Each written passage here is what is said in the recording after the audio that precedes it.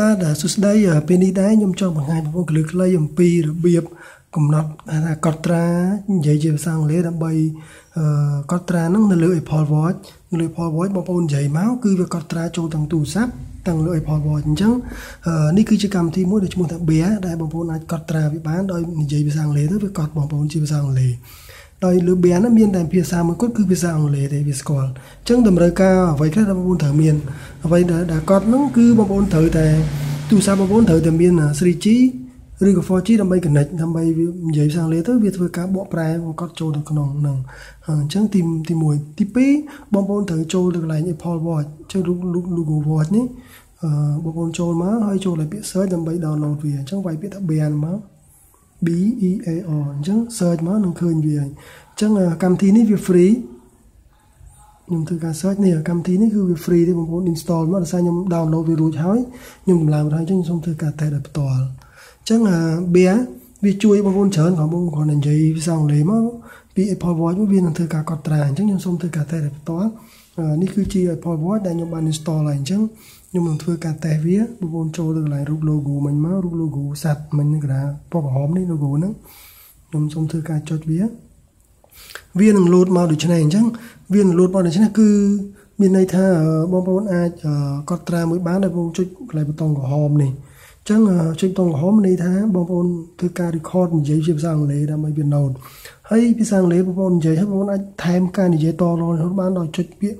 append ទៅទៀតខ្ញុំធ្វើការតែបងប្អូនបន្ទាប់ពីបងប្អូនប្រើវាហើយបងប្អូនអាច share អឺតិចហ្នឹងទៅកាន់មិត្តភ័ក្តិតាម Telegram តាម Messenger ឬក៏តាមអ្វីផ្សេងឬតាម email ឬក៏ save file ទុកក៏បានដែរអញ្ចឹងវាមានប្រយោជន៍ច្រើនអញ្ចឹងខ្ញុំសូមធ្វើការតេស្តតិចបន្តិចមកខ្ញុំសូមនិយាយជាភាសាអង់គ្លេ Hello, this is my noted I know about what I can do with this app. We call app Bear. ខ្ញុំសូមកាត់ដានមកនេះប៉ុណ្ណឹងវាវា note បានប៉ុណ្ណឹងអញ្ចឹងឧទាហរណ៍ថាបងប្អូនចង់បន្ថែមទៀតបងប្អូនគ្រាន់តែចុចចុចទៅលើវាមកបងប្អូនបន្ថែមទៀតនេះកន្លែងរូប logo Apple នេះបាក់ក្បាលមីក្រូហ្នឹងអញ្ចឹងបងប្អូនចុចមកគឺនិយាយបានទៀតខ្ញុំសូមបន្ថែមទៀត I want to add some book to book about សូមចុចមកអូខេអញ្ចឹងវាវានឹងវាមកថែមពាក្យមិញអញ្ចឹងទីទៀតវានឹងបញ្ជូនតន័យមកកាន់កន្លែងទូរស័ព្ទរបស់ខ្ញុំហ្នឹងដែលមាន logo មិញហ្នឹងអញ្ចឹងបងប្អូនចូលទៅក៏ឃើញអញ្ចឹងបងប្អូនអាច share ទៅបានអញ្ចឹងខ្ញុំសូមធ្វើការបញ្យល់ចេះបងប្អូនចង់លុបវាចុចចុចវាជាប់អញ្ចឹងមកចុចវាជាប់មកវានឹងឃើញរូបកន្លែងលុបហើយបន្តវាអញ្ចឹងមកគឺវាលុបលុបបាត់ហើយអញ្ចឹងលុបបាត់ហើយសារខ្ញុំមិនអត់លុបទេហើយខ្ញុំនឹងសូម ដល់បញ្យល់ទីទៀតខ្ញុំសុំចូលឡើងទូរស័ព្ទវិញតើវាបញ្ជូន data មកនៅអញ្ចឹងខ្ញុំសុំចូលមកនៅទូរស័ព្ទមកខ្ញុំចូលកន្លែងនេះកន្លែង bia ហ្នឹងអញ្ចឹងឃើញថានេះវាបញ្ជូនពាក្យដែលខ្ញុំបាននិយាយមិញមកនេះ